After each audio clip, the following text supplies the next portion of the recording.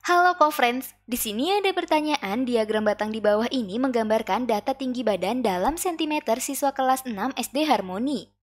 Kemudian yang ditanya, tinggi badan paling tinggi adalah titik-titik sentimeter dan tinggi badan paling pendek adalah titik-titik sentimeter.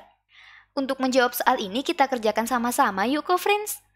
Jika kita perhatikan pada gambar diagram batang ini, di mana garis yang mendatar menunjukkan tinggi badan siswa dalam satuan sentimeter, yaitu 146, 147, 148, 149, 150, dan 151.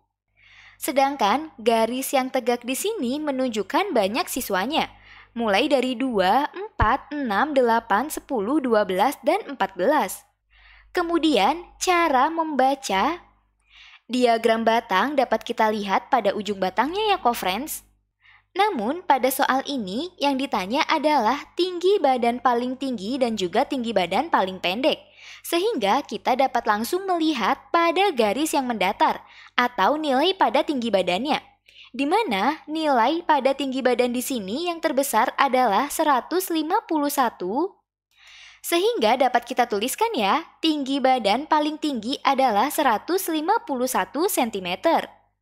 Kemudian untuk menjawab soal B yaitu tinggi badan paling pendek dapat kita lihat di mana nilai terkecilnya adalah 146. Maka dapat kita tuliskan tinggi badan paling pendek adalah 146 cm. Kita sudah selesai mengerjakan soalnya nih. Mudah kan, co-friends? Tetap semangat belajarnya ya.